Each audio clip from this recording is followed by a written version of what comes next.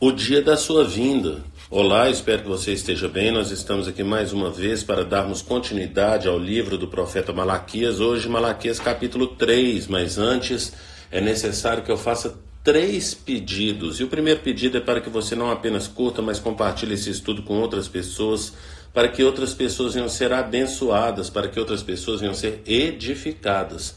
O segundo pedido é para que você adquira a Bíblia 365, porque através dela você vai ler um trecho do Antigo Testamento, um trecho do Novo Testamento, um trecho de Salmos e um trecho de Provérbios.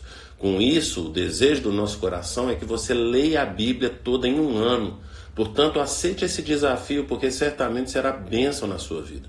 E o terceiro pedido é para que você participe de pelo menos um dos estudos que nós disponibilizamos ali na igreja. Portanto, temos estudos às segundas, às quartas, às quintas, aos domingos, são dias diferentes, horários diferentes, temas diferentes. E na descrição desse estudo, no nosso canal no YouTube ou na nossa página no Instagram, você vai poder conferir aí os dias, horários e temas de cada um desses estudos. Então venha participar, porque certamente será bênção para a sua vida.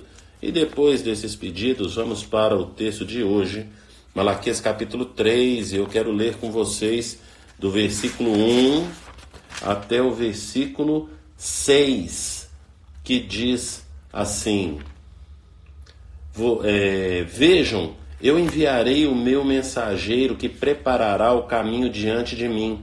E então, de repente, o Senhor que vocês buscam virá para o seu templo, o mensageiro da aliança, aquele que vocês desejam, virá, diz o Senhor dos Exércitos. Mas quem suportará o dia da sua vinda? Quem ficará em pé quando ele aparecer? Porque ele será como o fogo do ourives e como o sabão do lavandeiro. Ele se assentará como um refinante, um refinador e purificador de prata. Purificará os levitas e os refinará como ouro e prata. Assim trarão ao Senhor ofertas com justiça. Então as ofertas de Judá e de Jerusalém serão agradáveis ao Senhor, como nos dias passados como nos tempos antigos. Eu virei a vocês trazendo juízo, sem demora testemunharei contra os feiticeiros, contra os adúlteros, contra os que juram falsamente, contra aqueles que exploram os trabalhadores em seus salários, que oprimem os órfãos e as viúvas e privam os estrangeiros dos seus direitos e não têm respeito por ninguém, diz o Senhor dos Exércitos. De fato, eu, o Senhor, não mudo. Por isso, vocês, descendentes de Jacó, não foram destruídos.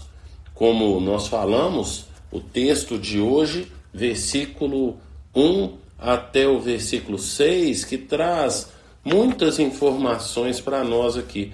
Nós percebemos num primeiro momento a respeito de João Batista. Vejam, eu enviarei o meu mensageiro que preparará o caminho diante de mim. Esse texto é um texto bem conhecido, não é assim? Nós percebemos quando nós lemos ali os evangelhos a respeito da vinda de Jesus, o papel de João Batista e tudo que o Senhor Jesus nos ensinou, ensinou aos apóstolos ensinou aos discípulos e também nos ensinou através das Escrituras, e nós percebemos que isso aqui de fato aconteceu nessa vinda, nesse dia do Senhor, nesse dia do Senhor, quando ele veio e cumpriu toda essa profecia. Como nós falamos aqui desde o início do estudo do, do livro de Malaquias, são dispostos aqui seis disputas, não é assim? Então, tem duas que acontecem no capítulo 1, mais duas que acontecem no capítulo 2, agora duas que acontecem no capítulo 3. Essa disputa, essa fala entre o profeta e os seus ouvintes, quer sejam ali os sacerdotes, muitas vezes palavras dirigidas aos sacerdotes, é, aos líderes e ao povo também, e no caso essa palavra que vem justamente para esses três públicos: os, os líderes, os sacerdotes e o povo. E essa esperança que é uma esperança messiânica, nosso Messias Jesus Cristo de Nazaré. Portanto, essa é a quarta vez que vai ter esse embate entre o profeta e o seu público. E aqui ele vai falar a respeito da vinda do Senhor, de que essa vinda, né, quando o Senhor vier, ele vai pegar e vai mudar muito a situação desse povo. É claro que quando nós lemos nos evangelhos, nós percebemos que o povo, de uma forma geral, os sacerdotes, de uma forma geral, eles rejeitaram ali o Senhor, eles rejeitaram é, as palavras do Senhor, eles rejeitaram os milagres, os sinais, tanto as palavras quanto os sinais eles rejeitaram ali do nosso Senhor. E portanto isso serve de peso para a vida deles, para a conduta deles, isso tudo fica registrado ali nos evangelhos. E agora nós percebemos o Senhor trazendo essa palavra através do profeta, séculos antes da vinda de Jesus para esse mundo, essa primeira vinda dele, e aguardamos ansiosos como igreja do Senhor a sua segunda vinda, mas aqui está se referindo a essa primeira vinda e tudo que o Senhor iria fazer. E aqui ele levanta acusações graves contra o que o povo vinha fazendo depois da restauração do segundo templo, no período, como nós falamos aqui, de Ageu, Zacarias e agora sim também o profeta Malaquias. Nesse período, eles continuaram fazendo as coisas abomináveis diante do Senhor que eram feitas nos dias que antecederam o exílio babilônico, tanto o exílio assírio para o reino do norte, quanto o exílio babilônico, o reino do sul. E agora nós percebemos, portanto, essas acusações que vêm contra eles. Aqui no versículo 5 fala: Eu virei a vocês trazendo juízo, sem demora testemunharei contra os feiticeiros, contra os adúlteros contra os que juram falsamente, contra aqueles que exploram os trabalhadores em seus salários, que oprimem os órfãos, as viúvas e privam os estrangeiros dos seus direitos e não tem respeito por mim, diz o Senhor dos Exércitos. Agora nós percebemos que o Senhor traz duas coisas aqui. E fica necessário nós lembrarmos algumas passagens do Novo Testamento. Primeiro, como sempre falamos aqui no estudo dos profetas menores, o, de uma forma geral, todos os profetas demonstram que o Senhor tem um lado. E ele está do lado do pobre, do órfão, da viúva e do estrangeiro. O Senhor tem um lado. Não significa que essas pessoas serão salvas, mas significa que o Senhor tem um olhar compassivo para essas pessoas. Portanto, nós como cristãos também devemos ter esse olhar compassivo. Mas também ele vai falar que a respeito de jurar falsamente, a respeito de adultério, a respeito de feiticeiros. É isso que ele vai estar falando aqui nesse trecho, aqui nesse versículo 5, e isso nos remete aos mandamentos.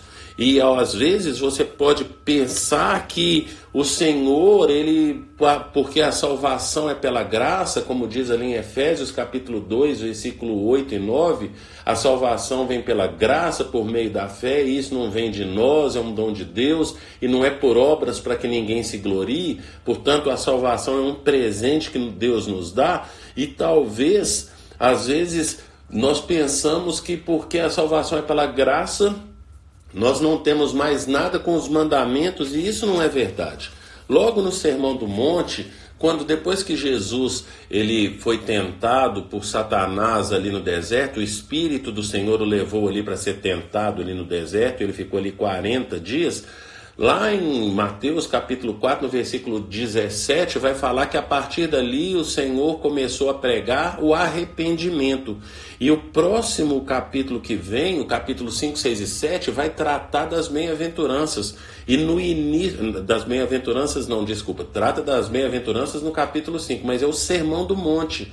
E o Sermão do Monte vai começar falando a respeito das bem-aventuranças, depois vai falar da nossa identidade, que nós somos sal da terra e luz do mundo, e depois ele vai falar a respeito da lei.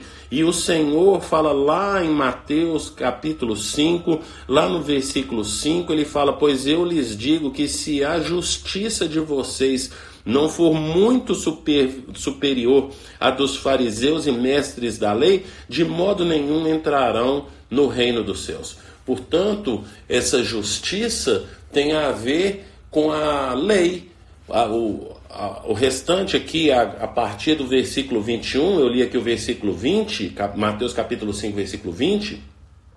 Mas a partir do 21, do versículo 21 até o versículo 48, o Senhor vai falar cinco vezes: Vocês ouviram o que foi dito, eu, porém, vos digo. Portanto, ele vai tratar da interpretação da lei. E isso é necessário para que a gente venha saber que, naquele período, os mestres da lei, os fariseus, eles liam e interpretavam a lei de uma forma errada. E como que nós vemos hoje? Talvez, se você for parar e pensar aí, nem os dez mandamentos talvez você sabe. Muitas vezes, às vezes eu pergunto para as pessoas: Você sabe os dez mandamentos? E a pessoa fala para mim assim: Precisa ser na ordem? Ai. Então, não precisa ser na ordem. Conta de 1 até 10 fora de ordem. Qual que é o mais fácil? Contar na ordem de 1 até 10 ou fora de ordem de 1 até 10? Portanto, quem sabe, geralmente sabe na ordem porque aprendeu na ordem. E nós precisamos entender que o nosso Senhor não aboliu os mandamentos, mas nós não somos salvos por cumprirmos o mandamento. Na verdade, quando nos são apresentados os mandamentos, a primeira coisa que nós vamos perceber é que a gente não consegue cumprir os mandamentos. Como diz um grande teólogo, ele diz, ele fala que quando nós damos o primeiro olhar para os mandamentos, nós vemos que nós somos pecadores, que nós quebramos os mandamentos. E aí vem a cruz que nos traz a salvação. E quando nós nos dobramos diante da cruz e perguntamos para o Senhor como que podemos demonstrar a nossa gratidão pelo que ele fez na cruz por nós, ele aponta para os mandamentos. Portanto, o segundo olhar para os mandamentos é a forma como somos santificados. E é isso que o profeta Malaquias vem trazer, é essa mensagem que ele vem trazer, que existe uma esperança e que nossa esperança é Jesus Cristo de Nazaré e que nós não cumprimos os mandamentos para sermos salvos, mas através dos mandamentos, quando buscamos cumprir por gratidão pelo que o Senhor Jesus fez na cruz do Calvário por nós, quando buscamos cumprir esses mandamentos, esse segundo olhar para os mandamentos, isso faz com que nós venhamos ser santificados. Como que você tem procurado conhecer mais a respeito da vontade de Deus, que inclusive estão ali nos dez mandamentos? O que você tem feito? Como que você tem demonstrado gratidão ao Senhor? Pense nisso e que o Senhor te abençoe.